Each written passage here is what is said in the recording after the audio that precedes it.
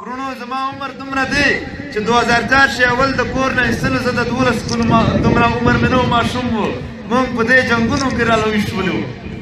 مونږ دا مونږ دا ویني دا هر شی لیدل مونږ به سویرې نه شول چې کله یونیورسټي ته راغلم ما ځوانانو ته وویل چې دا څنګه ژوندون دی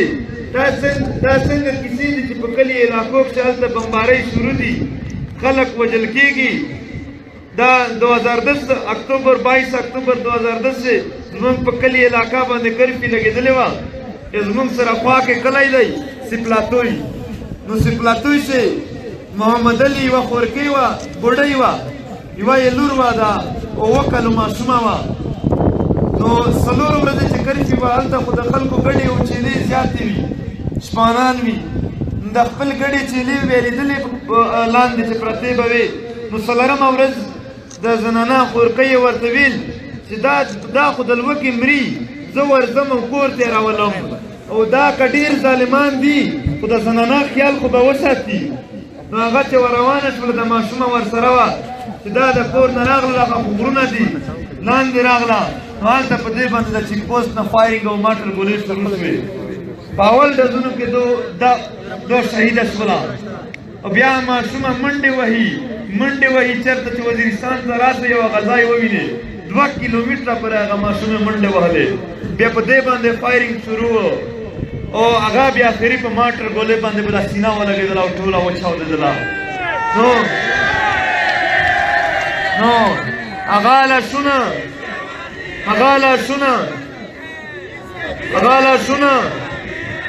هغه لاسونه دوی نشول راخستای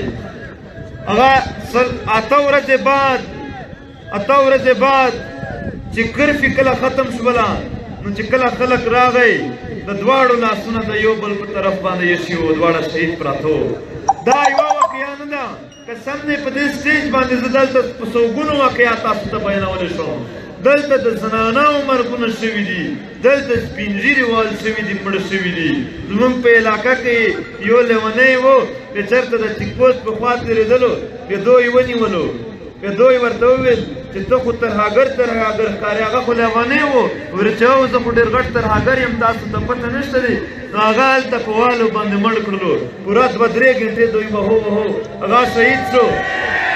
چې کله شهید شو دا دومره خبره نه ده پښتانه په مرګ روږدي دي خو بیا راغی د دوی د پلار نه یې ساین وغوښتلو چې ته به وایې دلته به ساین کوې چې دا په خپل مرګ مړ شوی دی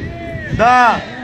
دا دا مرګونه داسې وي چې که د برما تصویرونه مو لیدلي وي که د فلسطین تصویرونه مو لیدلي وي که د شام تصویرونه مو لیدلي وي په هغې شان به زموږ بچیان هم زموږ زنانه هم زموږ ځوانان به داسې ټوکړۍ ټوکړۍ پراته وو خو نړۍ مونږ انسانان نه شمرولو چې چېرته په یو ګوټ شي احتجاج شوی وای یا دا مسلمان دي دا پښتانه دي دا انسانان دي د دوی د وجنه نه کیږي نو خو نن هم ګوره ګرځو دنیا ته یو ځل خواز کوو چې موږ انسانان وشمرئ دا زموږ د پښتون قام حیثیت پاتې شو